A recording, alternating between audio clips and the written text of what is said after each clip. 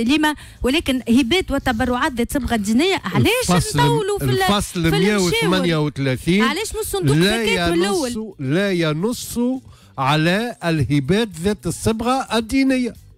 وعندنا آه، حتى شيء في القانون يا سي يا سي سفيان. نعم سيدي. النص النص يتحدث عن الهبات ولا وبالتالي النص ورد على إطلاقه. وبالتالي إحنا بالنسبة لنا الهبات نقول على اطلاقي يشمل جميع أنواع الهبات. وهذا تأويل سيد العيوني المطلوب من أجهزة الدولة أنها ترد في الوقت المناسب. لا لا. حضروا معايا الناس معناها واحدة متجاهلة للقانون واحدة جاهلة للقانون.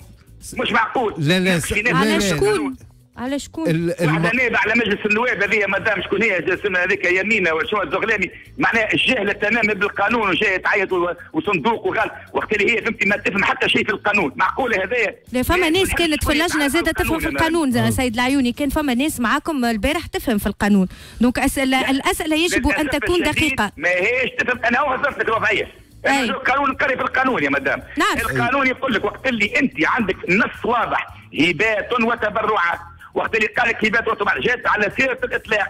ما دام جرت على سيرة الإطلاق. أنا بالنسبة لي تشمل جميع أنواع الهبات. لكن لكن لكن سي العيوني قاعد تتجا... قاعد لنا على الإطلاق هذايا تتجاهل فيه النقاشات اللي صارت في آه، في صياغة مجله الجماعات المحلية. لأنه تطرح الموضوع هذا في سياق النقاشات هذه وتطرح تحديدا تعهد الجماعات المحلية بقضايا آه، دينية مثل رعاية المساجد وتم حسم هذا النقاش. يا سي سفيان نعم. أنا كان فيك مش نحكي على مانيش قاعد في مرحلة مشروع القانون راني. هذاك نقاشات في أعمال تحضيرية تهم الناس يعملوا الأعمال التحضيرية. أنا نحكي اليوم وهي تفسر وهي تفسر تساعد على فهم القانون. لا لا لا لا. أنا إي justement مش هذاك بركة. لا مش أرجع من 532 من مجله التزامات العقود. و533 تفسر لك بالضبط إيش تقرأ القانون. وبالتالي مش الاعمال التحضيريه وحدها تفسر القانون، الاعمال التحضيريه هي جزء, ولكن فما الأخرين مراد وضع المشرع وعندها معها كذلك صيغة النص. قال لك إذا ورد النص على اطلاقه أخذ على صفته تلك. وبالتالي إحنا طبقناه كما هو الفصل. القانون واضح وصريح. طالما أن كلمة الهبات والتبرعات جاءت عامة فانها تشمل جميع أنواع الهبات. علاش بالذات نقصوا منها الهبات ذات صبغة دينية؟ عليه؟ بو... على خاطر الزكاة على واضح. سيد فتحي العيوني. أنا أنا نحب نحب نتوقف يعني معاك. كلها خاطر كلمة زكاة. لو كان عملت هبات رياضية ما نتكلم حتى حد. أنا نحب نتوقف معاك عند النقطة هذه. أي سيد العيوني.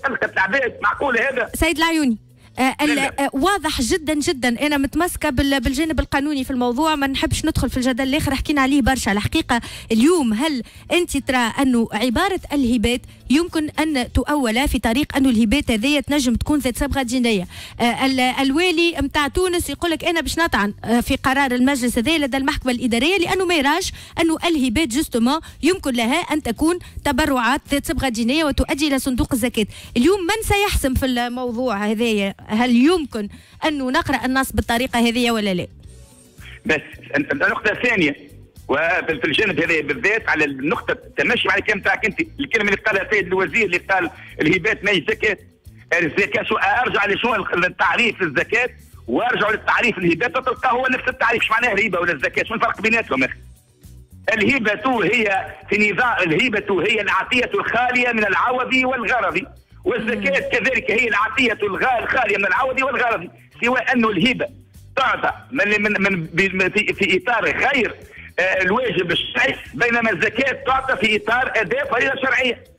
لا أكثر ولا أقل وذاك علاش؟ إحنا احترمنا النظام المدني التونسي وقلنا هل هل العطية هذه ما هيش مفروضة على الناس. هي عطية اختيارية. ولذلك إحنا نعرفوا هي لو كان جاء في نظام إسلامي عند دولة أخرى تطبق في أحكام الإسلامية. ما عندهاش مبدأ حريه الرفاهيه نقول لك وقتها بالحق هي ما إذا عطيه إذا عطيه اختيارية تولي ما عادش تنجم تكون زكاة. وإنه العملية دي اختيارية. ما نجبروا العم... على أدائها. العملية هذه كي تبدأ اختيارية ما عادش تنجم تكون زكاة لأنه الزكاة ما هيش اختيارية بل هي فريضة على المسلم. لا أختي سامحني وقت اللي يصبح النظام المتبع في الدولة اللي انت فيها تصبح نظام آه كما النظام التونسي اللي هو نظام قائم على مخرجة بين التشريع الإسلامي ومقتضيات مدينه الدولة. نجم تمشي كما كما موجود في الدول الغربيه في الدول الغربيه توا تمشي له هذيك الكل هاو تلقاهم الدعوات في كل بقعة. شوف تلقاهم الدعوات إلى خلاص مع مظاهر ريت علاش سيد فتحي العيوني؟ أستاذ لو كان تسمح ريت علاش قلت لك باش نكتفيو معك بالجانب القانوني؟ لأنه أصلا أنت عندك قراءة خاصة لفصول الدستور في علاقة بال هذا قراءة القانون يعني. لا ما لا سي العيوني سي العيوني. القراءة بين ازدواجيه ازدواجية المدنية ولا ولا الاستناد إلى الشرع في في الدستور هذايا والفصل الأول والثامن هذايا. أنا أعتقد أن انه حتى في توصيف صندوق الزكاة ومصارفه. هذا يقتضي نقاش ما هوش قانوني اليوم. النقاش القانوني هو أنه وقع فتح حساب وفما تأويل لموضوع الهبات في القانون. سيقع الاحتكام به للقضاء وانت فتحي العيوني تؤكد سلامة الإجراءات في علاقة بذلك. يقولنا أنه حتى المراسلات مشات بعنوان هبات وتبرعات ذات صبغة دينيه اليوم مؤسسات الدولة اللي البلدية منهم وبلدية الكرم منهم يجب أن تقول الدولة والقضاء الكلمة في ذلك. ما نعرفش كان موافقني ولا لا. بعد الزكاة الفرق ماشي ضد أنا أنا voilà هذا هو إحنا المبدأ. محامي.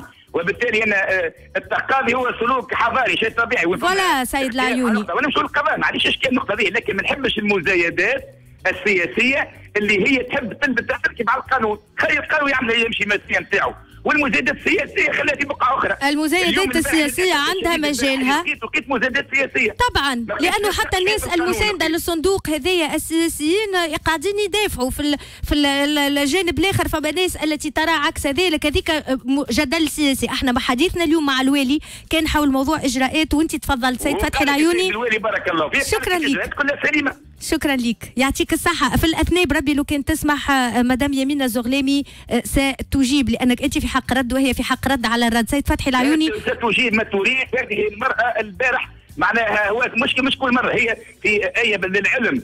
هي جمعية شمس اللي هي اليوم مخالفة للفصل الأول من الدستور وخالفه لمدينه الدولة. قالت عندها الحق باش تتواجد في إطار القانون التونسي.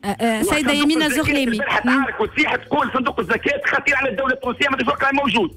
معناها شوف المقرر والسيدة هذه نورمالمون تنتمي إلى مرجعية فكرية غريب ما في الأمر وأن كيفاش تنتمي لمرجعية فكرية وأخلاقية مناقضة تماما اللي تحكي فيه امبارح. لا هذا هذا هذا أنا نعتبره أخطر اتهام من عندك. خلي مدام يمين الزغلامي مرحبا بك مرحبا لله مرحبا خلود أهلا وسهلا مرحبا بك وبالمستمعين إذاعة ياسان ويعطيك الصحة على منحي الفرصة للحديث. مرحبا شكرا لك. إحنا السيد فتحي العيوني غدرنا به. مش مشكل هو قدم التوضيح. مدام يمينة زغليمي أنت على ما يبدو قلت أنه صندوق الزكاة خطير على الدولة التونسية والمنح